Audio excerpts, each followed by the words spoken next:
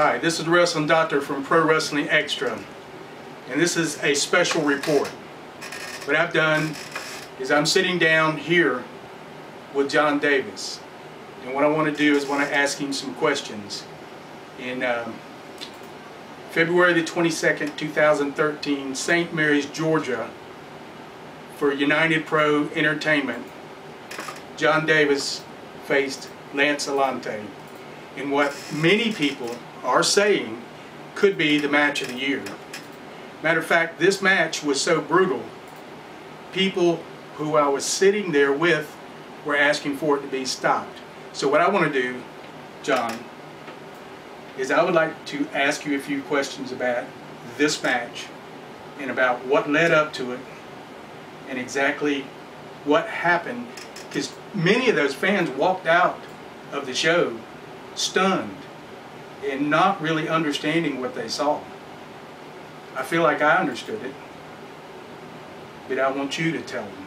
So, and it was for this title, you put up this belt for a reason. How did this match come apart, come about?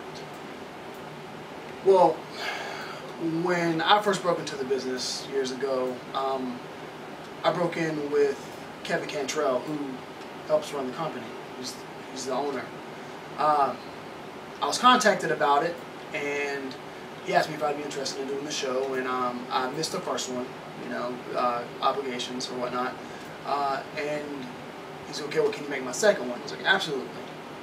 He's like, well, just just so you know, uh, Lance Alonte has requested a match with you. And that kind of interested me because me and Lance have a little bit of a history and there were some things that I felt like needed to be aired out in the way that we wrestlers air out grievances, which is in the ring.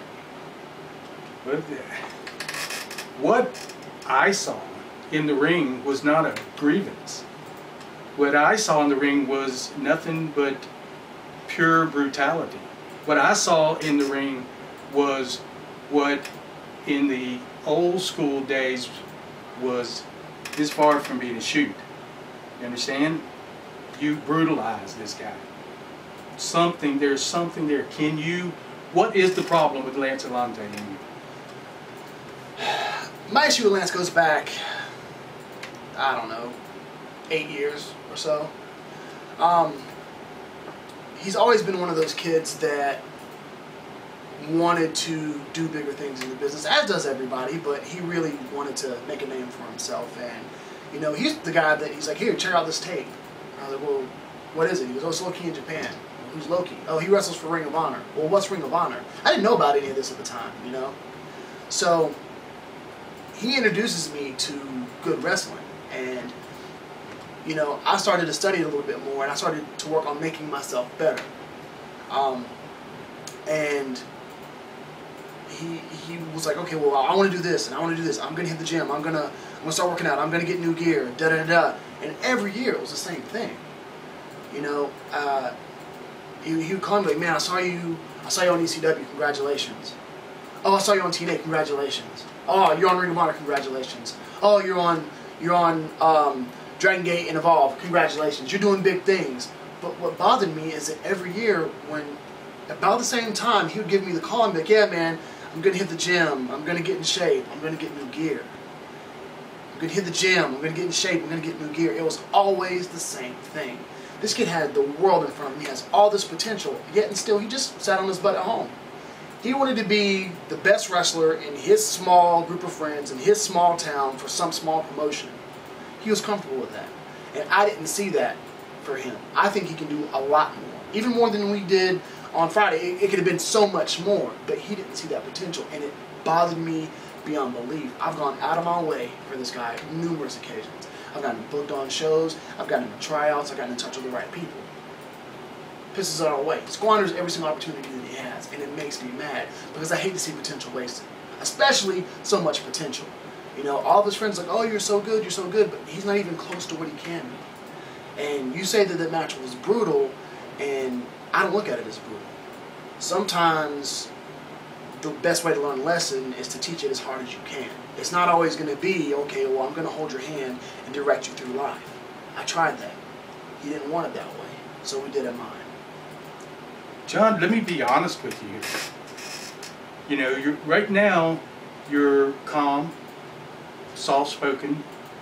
You know, that night you were not that way. You know, what makes you think you should be the one to tell Lance Alonte he has to do? I owed it to him. Plain and simple. Plain and simple. I would have never started down the path that I started down had he not shown me the proper path to walk. He gave me the idea to get me to where I wanted to be. Like he put that inkling in my head. I mean, I'm sure I would have saw it later on down the road, but who's to say it would have been that year? Who who's to say it would have been the next year? Who's to say it would have been the year after that? What he did is he showed me basically where I wanted to be. So in doing so, he had the same mindset that I did. He wanted to be all those places that I, that I wanted to be. He wanted to do all those things that I wanted to do, and he wanted to do them before I did. So, in him not doing that, he he showed me where I wanted to be. So I needed to show him where he needed to be. He again, he said, "Okay, I want to do this. I want to do this," but he didn't. And he has the potential. And if you said that you didn't see the potential in him, I would call you a liar. If anybody said that they didn't see the potential in him, I'll call him a liar because Lance is a very very talented professional wrestler. Probably one of the most underrated in his state of Georgia. And he doesn't want to bring it to the surface. The cream's going to have to rise to the top. If he wants to sit on the bottom, fine. But what I did, what I felt like I did, was show him that he can do a lot more than he thinks he can. Well, I think that's a little controversial, really. But but let's leave that lay. Let me ask you something about the match. Can you remember a moment in the match where you felt you had control most of the match, but is anything stand out that you remember of something that was exceptional? Uh, are we talking about overall or just during the match? Well, yes, during the match. Um, the emotion. Uh, you could feel it in the ring, and more so, you could feel it in the crowd. Definitely. You could you could see people worrying. You could you could see kids getting upset. You could see his friends looking at each other like, are they going to have to come in the ring and try to stop something? People were begging, begging for me to stop beating him. Yes. You know, and people were worried about his well-being. And that's kind of what what stands out to me is the overall emotion because it didn't matter what happened. It didn't matter the beating I put on him. It didn't matter how many times I kicked him, or how many times I punched him, how many times I forearmed him, how many times I put him on the mat. Every time I drove him into that mat, he got back up. And it might, he might not have popped right back up, but he slowly and surely started to make his way back up. And that meant something to everybody that was there. And that meant something to me because it showed me that he wasn't a quitter. It showed me that he was a fighter. And I think it showed him the same thing. I think everybody saw that, you know, but it, I can't get past the beating. I can't get past the punishment you dished out to teach him a lesson at how good he could be. Okay. That's, that's what you're telling me, right? Okay, let's do it this way. Let's do it this way. You're old school, right? Yes. Okay. So, you being old school, when you were coming up and you did something wrong and your parents were disappointed in you and your dad's like, all right, son, we got to have a talk. What did he do? I got a whipping. You're not his dad. I'm not saying that. But an authority figure, if you would have had somebody and, and say say his dad's not around or say whoever's not around to teach him, I, I'm not his dad in the business, I'm not his dad in life. But I'm an authority figure in this particular aspect because we've been friends for a very long time. I would call him my brother. Okay? But me being older and me getting that experience that he should have, that's what it had to be. He had to be taken to the woodshed. And it's not, it wasn't me being disrespectful, it was me teaching him. And that's how you learn when you were younger, correct? Yes. I understand where you're coming from. In your words. It's it's the way you did it in the ring, the brutality that was done in the ring. I saw the guy backstage. He looked pretty bad.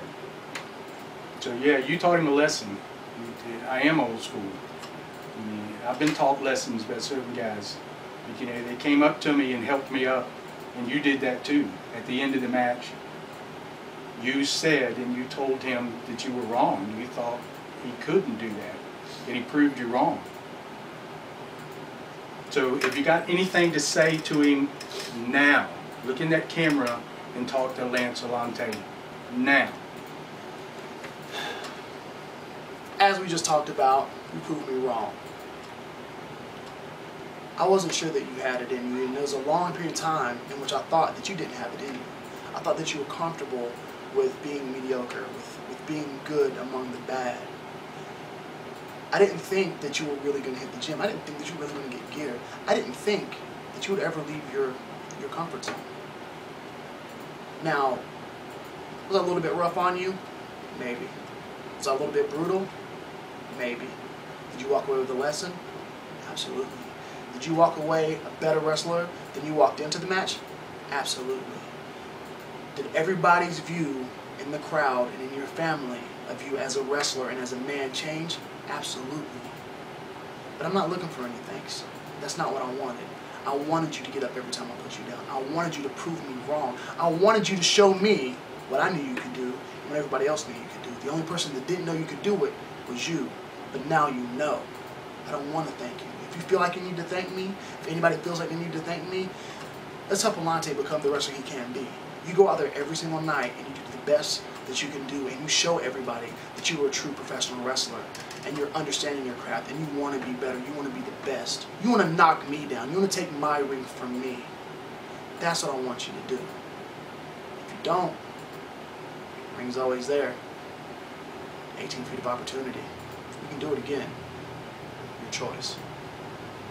And we talked earlier, and I mentioned that if you would go once more, put the belt up, or even without the belt, will you wrestle Lance Alonte again? And you kind of looked at me, and at that time, I thought you were going to say no. I thought you were going to say you don't have anything else to prove. Why should you give anything up to him? Does he have to prove himself even now, or has he done enough? Will you wrestle him again?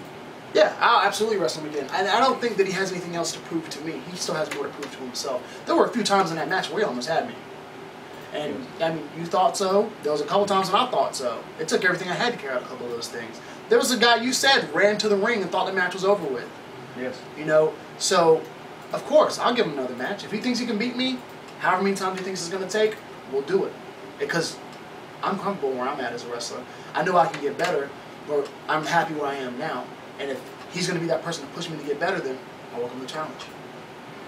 All right, Jon. I appreciate you uh, sitting down with me and telling us your side of the situation. I'm going to try to sit down with Lance and let him tell me his side of the situation.